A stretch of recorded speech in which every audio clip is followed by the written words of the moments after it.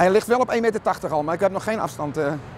John Baarsen werkt al acht jaar als parcoursbouwer voor Jumping Amsterdam. En daar komt heel wat bij kijken. Nou, kijk, we hebben hier al een tekening. Daar staan op uh, alle nummertjes die de ruiters straks moeten gaan rijden. Daar staan precies de namen bij van de sponsorhindernissen of de gewone hindernissen uh, die dus uh, gebruikt moeten worden.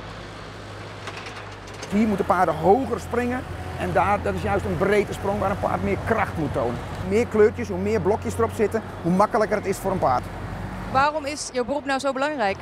Uh, nou, het, het, het, is belangrijk omdat je precies moet weten um, om een bepaalde afstand tussen hindernissen te maken, zodat de galopsprongen van het paard precies passen. En dat kan je dus een keer wat moeilijker maken door de galopsprongen wat korter te willen maken voor een ruiter of juist wat langer te willen maken. Dus je bepaalt als parcoursbouwer bepaal je wat een ruiter moet gaan rijden met een paard. Oh. Sommige hindernissen zijn gewoon uh, uh, heel zwaar.